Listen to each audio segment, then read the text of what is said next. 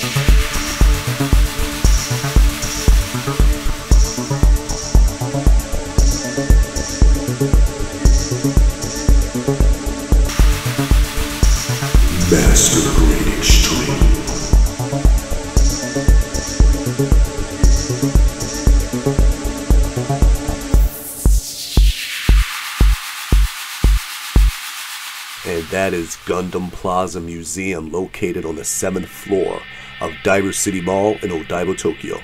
I'm DTJ. Thanks for watching. See you on the next one. DT out. Master Grade Extreme.